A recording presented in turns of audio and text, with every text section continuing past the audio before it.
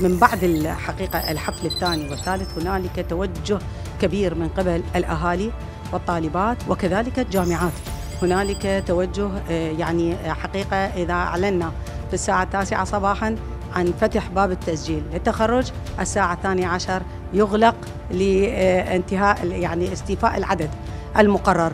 آه، هنالك دعوات من رؤساء الجامعات من الجامعات من الأهالي بالتسجيل وحتى الحفل القادم إن شاء الله للنسخة السابعة آه، بدأ التسجيل من الآن. فالحمد لله والشكر. لمسنا هنالك آه، تغير هنالك راحة نفسية للطالبات وأهالي الطالبات وكذلك الجامعات.